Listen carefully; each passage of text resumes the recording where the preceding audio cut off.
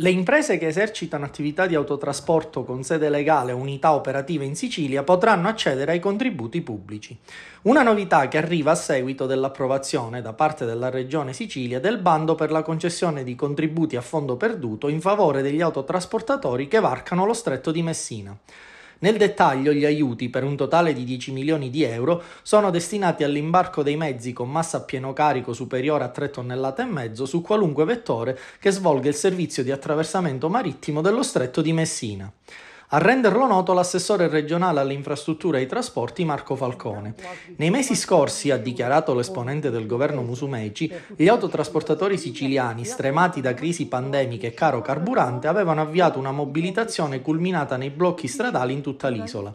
In quel contesto avevamo promesso aiuti per 10 milioni di euro alle imprese soffocate dai rincari sull'attraversamento dello stretto. Proprio durante la protesta al casello A18 di San Gregorio di Catania nel febbraio scorso, il presidente presidente della regione Nello Musumeci e l'assessore Falcone avevano incontrato i manifestanti garantendo un intervento.